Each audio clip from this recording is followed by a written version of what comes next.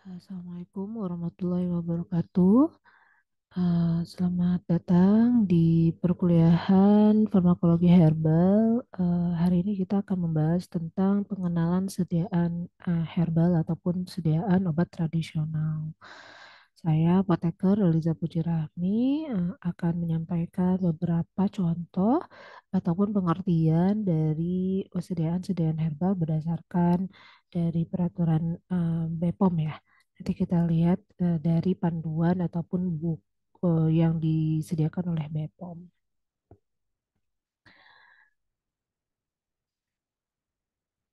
Oke, kita review lagi. Kemarin uh, kita sudah bahas tentang kriteria obat bahan alam ya, berdasarkan SK Kepala BPOM. Itu obat bahan alam itu kita bagi menjadi tiga golongan atau tiga tingkatan. Yang pertama adalah jamu atau obat tradisional empiris. Nah, yang ini adalah uh, logonya, jangan Jangan lupa kalau misalkan ketemu logo yang seperti ini berarti ini adalah jamu. Nah, jamu itu apa? Jamu itu adalah khasiat eh, khasiatnya itu berdasarkan dari pengalaman empiris turun temurun, turun temurun tradisional seperti itu ya. Nah, eh, standarisasi kandungan kimianya ini belum dipersyaratkan. Jadi hanya berdasarkan pada pengalaman saja, belum ada eh, eh, apa belum ada standarisasi berapa kandungan kimia dari jamu ini. Nah, kemudian tingkatan yang kedua adalah obat herbal terstandar. Nah, logonya seperti ini ada tiga eh, apa namanya seperti salju seperti ini ya. Nah, ini eh, obat herbal terstandar ini bedanya dengan jamu adalah eh, khasiatnya itu sudah berdasarkan pada uji farmakologi dan uji toksisitas pada hewan.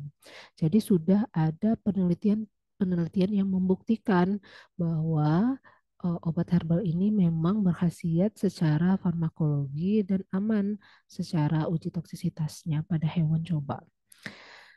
Nah, kemudian pada obat herbal terstandar ini, standarisasi kandungan kimianya sudah dilakukan, uh, terutama bahan baku penyusun formulanya. Jadi, obat herbal terstandar ini kadang-kadang juga tidak hanya uh, mengandung satu zat berhasiat, ada beberapa zat berhasiat sehingga uh, standarisasinya itu menjadi sangat penting, dan itu sudah dilakukan untuk obat herbal terstandar. Kemudian yang ketiga adalah fitofarmaka. Fitofarmaka yang uh, logonya seperti ini mirip pada uh, obat herbal terstandar, namun uh, ber uh, ada ada apa rantingnya seperti itu ya. Nah, uh, khasiatnya itu sudah berdasarkan pada uh, uji farmakologi, uji toksisitas pada hewan coba, dan juga ditambah dengan uji klinis pada manusia. Jadi kalau kita lihat, uh, kalau kita lihat ya seperti ini, fitofarmaka ini sudah setara dengan obat modern karena sudah melalui tahapan uji klinis pada manusia dan standarisasinya itu harus sudah ada karena sudah dilakukan uji klinis pada manusia. Nah, jadi ini adalah tiga kriteria bahan obat alam uh, yang ada di Indonesia. Jadi ada jamu, obat herbal terstandar, dan fitofarmaka. Nah, uh, fitofarmaka di Indonesia ini sudah mulai berkembang ya. Jadi uh, sudah banyak obat-obat tradisional yang uh, dilakukan uji uji klinis kepada manusia untuk mendapatkan status uh, fitofarmaka ini.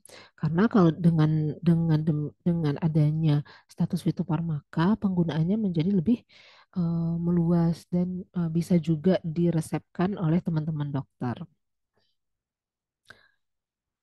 Nah, uh, ini adalah uh, poster yang kita dapatkan dari Farmalkes Kemenkes uh, Indonesia ya, Kementerian Kesehatan Republik Indonesia.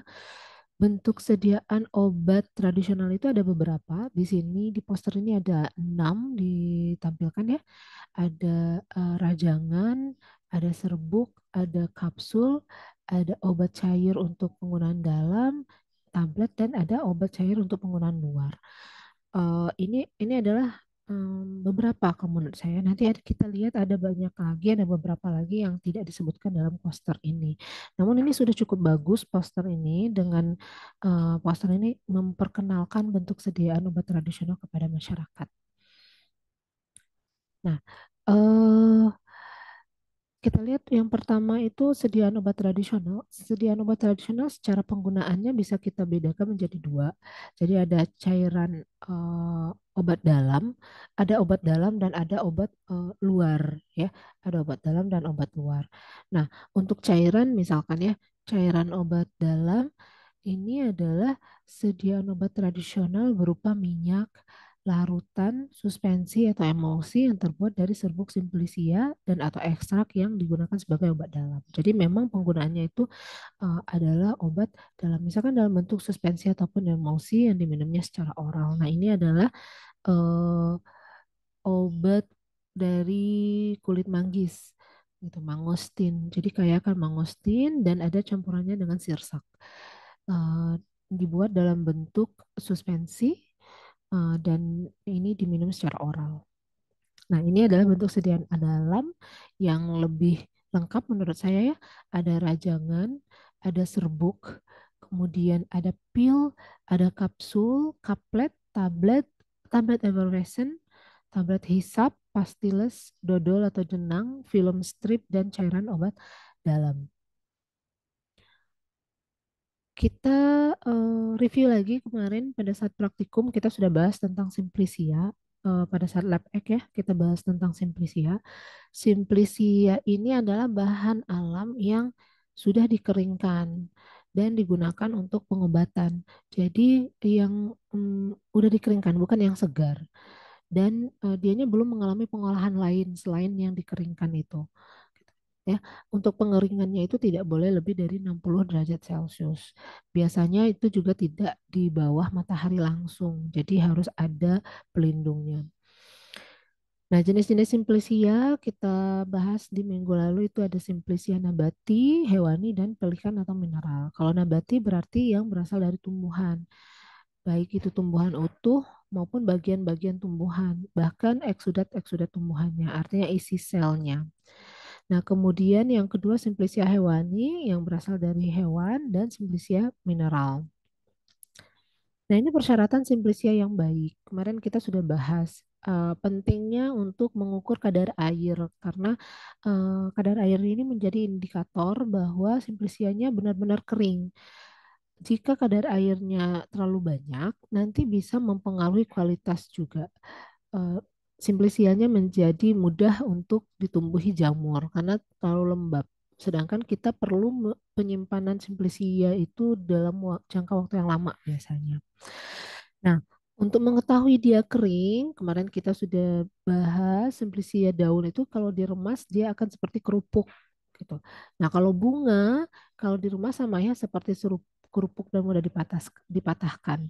Simplicia buah dan rimpang itu mudah dipatahkan. Ada hmm, seperti kayu, kayu kering yang dipatahkan dan tidak berjamur ya. Nah, kita lihat yang pertama sediaan ekstrak atau galenik. Sediaan kering eh, pengertiannya adalah sediaan kering, kental atau cair dibuat dengan menyari simplicia nabati atau hewani menurut cara yang cocok di luar pengaruh cahaya mata langsung. Jadi ekstraknya yang cair yang yang eh, serbuk simplicia kemudian kita ekstraksi dengan metode ekstraksi kemudian eh, kita saring. Nah, ekstraknya inilah yang eh, disebut dengan sediaan galenik atau ekstraknya langsung. Kemudian ada rajangan. Rajangan ini seperti yang kita lakukan kemarin. Jadi itu obat tradisional eh, yang berupa simplicia atau campuran dari beberapa jenis simplicia yang eh, nanti penggunaannya adalah dengan merebus atau eh, diseduh dengan air panas. Contohnya apa? Contohnya misalkan yang paling sering itu adalah kayu secang. Kayu secang yang kering kemudian di uh, rebus aja. Nah, itu adalah salah satu contoh rajangan, ya. Kemudian Eh, Simplicia. Simplicia itu yang kemarin yang kita buat sudah sudah kering kemudian dihaluskan menjadi bentuk serbuk gitu ya. Nah, pada eh, penggunaannya kadang-kadang itu adalah campuran serbuk Simplicia campuran dari beberapa eh, beberapa sediaan. Jadi misalkan kunyit ditambah dengan cengkeh gitu ya dalam bentuk serbuk. Nah, nanti penggunaannya sama, diseduh dengan air panas aja langsung. Ini banyak sekali ya, banyak sekali tersedia di pasaran. Nah, kemudian ada serbuk instan. Nah, serbuk instan ini mungkin sudah mengalami eh, proses eh, apa proses pembuatan yang lebih eh, advance ya. Nah, artinya dia sudah dibuat sedemikian rupa. Jadi dari ekstrak biasanya, dari ekstrak kemudian mungkin mungkin dilakukan dengan eh, apa ekstrak cair, misalkan ekstrak cair kemudian dilakukan proses lebih lanjut untuk mengeringkannya hingga menjadi bubuk.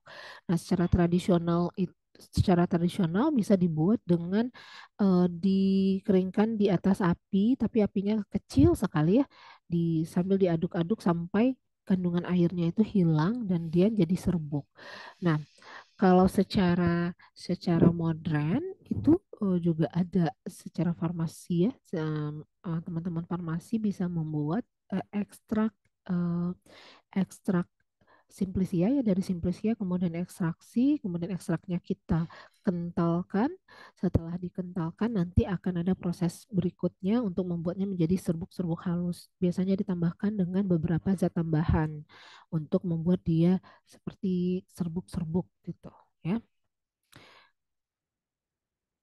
Kemudian ada kapsul. Nah, kapsul teman-teman udah tahu ya, kapsul ini hmm, paling eh, banyak digunakan pada pada obat herbal karena gampang. Jadi dari dari simplicia serbuk simplicia nanti langsung dimasukkan ke dalam kapsul. Jadi dengan demikian kita eh, dosisnya itu bisa lebih seragam. Kemudian kapsul lunak eh, itu menggunakan cangkang yang lunak sama ya prosesnya dan biasanya kalau yang kapsul lunak ini biasanya untuk oil-oil minyak-minyak itu bisa digunakan di cangkang lunak. Kemudian eh, tablet. Nah, tablet eh, seperti biasa, tablet ini adalah sediaan yang padat, kompak ya, dibuat dengan kempa cetak, bisa bentuknya pipih, silindris ataupun bentuk lain.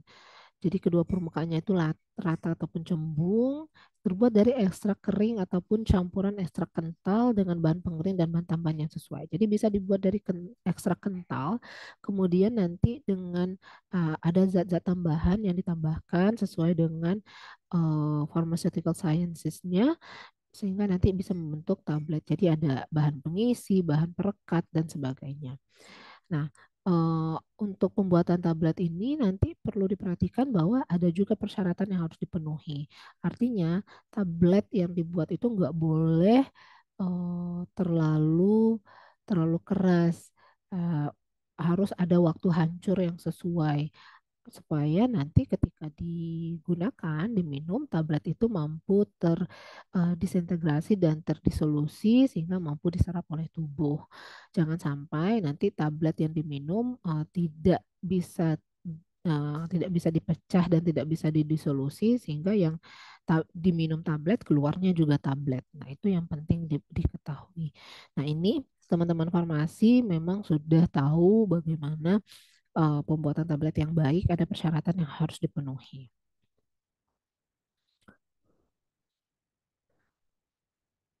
Kemudian effervescent. Effervescent ini sebenarnya adalah termasuk dalam kategori tablet, tapi uh, tablet ini sediaan effervescent ini dia mengandung natrium bikarbonat dan asam organik sehingga nanti ketika diberikan air natrium bikarbonatnya ini yang akan menyebabkan dia akan menghasilkan gelembung gas karbon dioksida uh, dan dan kemudian nanti dia juga menjadi terdisolusi uh, tabletnya dan berubah menjadi minuman ya dari bentuk cair.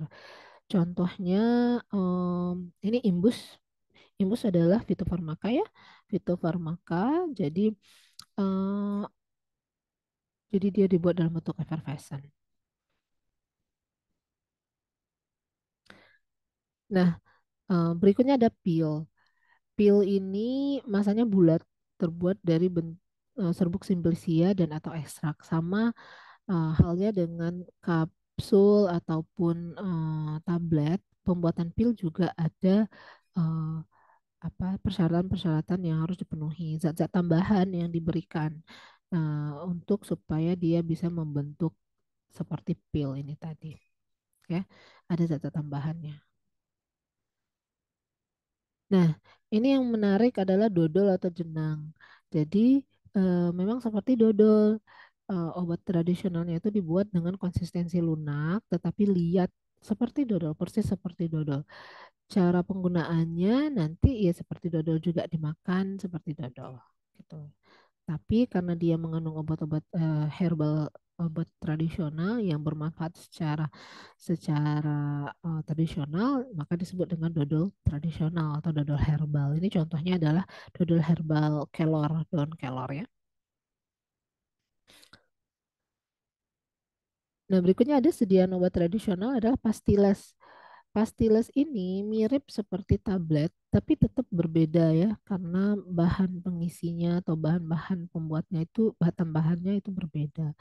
Nah, pastiles ini lempengannya lebih pipih, umumnya bentuk segi empat, terbuat dari serbuk simisilia ataupun ekstrak. Jadi boleh dalam serbuknya atau sudah ekstraknya. Nah, pastiles ini biasanya ada tambahan-tambahan min gitu ya. Jadi em, banyak digunakan untuk pereda tenggorokan. Nah, kemudian kita lihat di sini eh, sediaan obat luar. Nah, kalau obat luar berarti penggunaannya memang untuk obat eh, untuk luar. Misalkan itu kalau eh, cairan berarti misalkan dalam bentuk obat tetes gitu.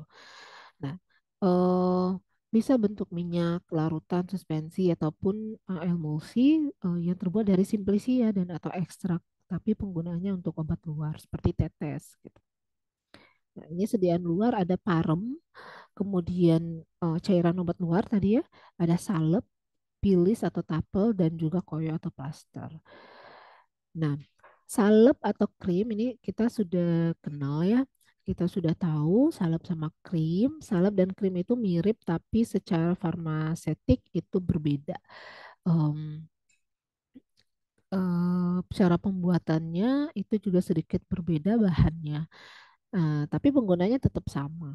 Jadi dia dia termasuk semi termasuk semi solid ya, setengah padat.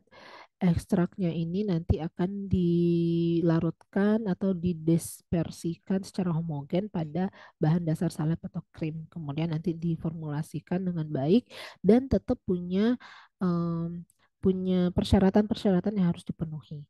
Jadi harus harus apa?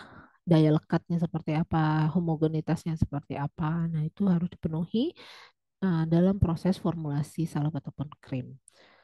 Penggunaannya untuk obat luar. Kemudian ada parem. Nah, parem ini uh, sediaan padat ataupun cair uh, yang terbuat dari sebuah spesies dan atau ekstrak yang digunakan untuk obat luar. Hmm, Misalkan ini ya, uh, parem parem apa nih? Misalkan parem kencur gitu. Nah, nanti uh, kan tablet, dianya dalam bentuk tablet gitu padat. Nanti ditambahkan dengan air sedikit dan digunakan untuk uh, obat luar, misalkan untuk pegelinu dan sebagainya. Kemudian ada pilis, pilis atau tapel. Nah, ini adalah uh, sediaan padat, sediaan padat yang nanti eh, digunakan untuk obat luar. Misalkan ini pilis tradisional eh, ini air mancur ini biasanya untuk setelah melahirkan pasca melahirkan yang ditempelkan di kening kalau kalian sering lihat ibu-ibu baru lahiran.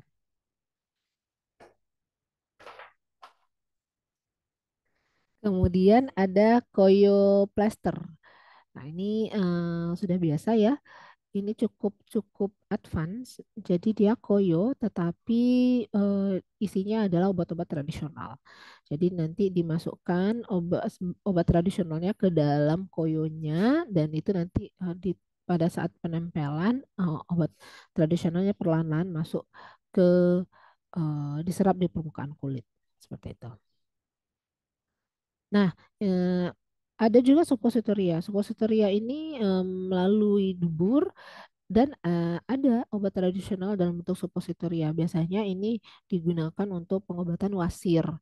Jadi dibuat dalam bentuk suppos, kemudian diberikan melalui rektal. Gitu. Film strip juga demikian. Film strip ini lebih lebih advance lagi, jadi eh, sangat tipis sekali dan digunakan untuk oral. Misalkan ini ini contohnya aja ya. Contohnya adalah GoFresh. Ini eh, di, di dia sangat tipis seperti itu. Nanti diberikan secara oral dan perlahan akan hilang eh, filmnya. Nah, ini ada beberapa kriteria obat tradisional yang harus dipenuhi. Uh, yang pertama adalah terkait dengan pelarangan ya. Etil alkohol lebih dari satu persen itu dilarang, kecuali dalam bentuk tinktur uh, yang pemakaiannya dengan pengenceran. Tinktur itu memang pakai alkohol, tapi nanti penggunaan tinktur itu harus diencerkan kembali. Gitu. Nah, kemudian BKO, bahan kimia obat yang merupakan hasil isolasi atau sintetik berhasiat obat itu tidak boleh ada pada obat tradisional. Narkotika dan psikotropika tentu tidak boleh. Kemudian bahan lain yang berdasarkan pertimbangan kesehatan dan atau berdasarkan penelitian membahayakan kesehatan. Ini adalah zat-zat ataupun bahan-bahan yang dilarang ada di obat tradisional. Nih, ini dari uh, Kemenkes juga obat tradisional yang diminum tidak dirasakan manfaatnya secara langsung melainkan setelah penggunaan berulang sesuai dengan aturan pakai. Ini pengertiannya ya. Nah, perlu diwaspadai adanya BKO, bahan kimia obat dalam obat tradisional yang memberikan efek langsung bila diminum. Obat tradisionalnya dilarang dan tidak diedarkan dalam bentuk sediaan intravaginal, tetes mata nggak boleh, parenteral, dan suppositoria kecuali untuk pasir. Jadi suppositoria itu untuk pasir saja, yang lain tidak boleh. Nah, ini larangannya, larang menggunakan uh, eh, BKO, kemudian uh, harus dengan izin edar, nggak boleh tanpa izin edar. Nah, BKO yang biasa dicampurkan obat pegelinu itu paling sering ada paracetamol, phenylbutazone, dexamethasone. Ini kan bahan obat obat modern, tapi memang sering ada pada obat tradisional terutama yang ilegal. Gitu. Nah, ini sildenafil sitrat, tadalafil untuk meningkatkan stamina pria. Ini uh, sering kita temukan ketika kita melakukan uh, apa sidak ya, sidak ke ke pasar obat tradisional, kita ambil sampel, ternyata memang ada di beberapa sediaan obat tradisional itu yang mengandung PKO. Nah, ini jamu gemuk badan. Nah, isinya ternyata uh, ciproheptadin. Gitu. Kemudian masuk angin, perut kembung, batuk, ternyata isinya adalah efedrin, pseudoefedrin. Oh, terus dia ada obat tradisional gatal-gatal, ternyata isinya CTM. Menjaga daya tahan tubuh, ternyata isinya parastamol. Obat pelangsing, jamu pelangsing, ternyata isinya adalah sibutramin. Membantu pencernaan, isinya ranitidin, trimetoprin, trimetopin. Nah, ini BKO-BKO yang paling sering dicampur dalam obat tradisional. Ini perlu diperhatikan nanti. Makanya obat tradisional itu harus punya izin edar dan legal sehingga nanti kita bisa cek paling tidak di uh, BPOM apakah benar ini campurannya apa. Nah, uh, BPOM juga sering melakukan uh, sidak, nanti diambil sampelnya, dilihat apakah ada BKO atau tidak. Nah, uh, ini klaimnya ya, klaim uh, jamu pelangsing ternyata isinya ada sibutramin, sibutramin HCl gitu. Nah, dia efek sampingnya resikonya jantung, stroke. Banyak sekali ya. Nah, ini yang paling paling mengerikan adalah jantung dan stroke. Kemudian kontraindikasinya banyak sekali. Nah, kalau misalkan tidak ada di uh, obat-obat tradisional uh, digunakan oleh orang-orang yang punya gangguan hati, gangguan ginjal, sedangkan dia nggak tahu di situ ada sibutramine hidro uh, HCl, maka bisa berbahaya sekali gitu ya. Nah, uh, ini obat yang ilegal, tidak punya efek, tidak punya uh, daftar tidak terdaftar di BPOM, jadi nggak tahu, tidak dijamin mutu khasiat dan keamanannya. Jadi caranya kita harus pastikan dengan cara mengecek nomor izin edar melalui aplikasi BPOM bisa ya. Aplikasi BPOM kita bisa cek izin edarnya.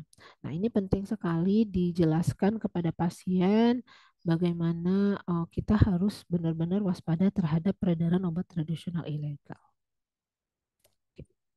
Oke, untuk pengenalan sediaan herbal uh, kita uh, cukupkan. Uh, sekali lagi ada beberapa ya sediaan herbal yang ada di pasaran di Indonesia, baik itu sediaan obat dalam maupun sediaan obat luar. Uh, sediaan obat dalam artinya penggunaannya untuk uh, sistemik, untuk dalam ya bisa melalui oral biasanya. Uh, harus melalui oral karena tidak boleh melalui intravena ataupun injeksi. Kemudian ada uh, obat tradisional luar yang penggunaannya untuk luar uh, kecuali tetes mata, tidak boleh tetes mata ya. Uh, supositoria juga tidak boleh, intravaginal juga tidak boleh. Supositoria itu kecuali pada wasir. Nah, uh, nanti uh, setelah ini kita akan diskusi diskusi terkait dengan sediaan herbal dan uh, di akhir sesi nanti ada tugas buat uh, adik-adik untuk mencari tiga contoh dari bentuk sediaan herbal ini uh, semua yang ada di PPT tadi dan dikumpulkan nanti paling lambat pada jam 12 ya. Uh, sekian, terima kasih. Kita ketemu di diskusi di perkuliahan di kelas. Assalamualaikum warahmatullahi wabarakatuh.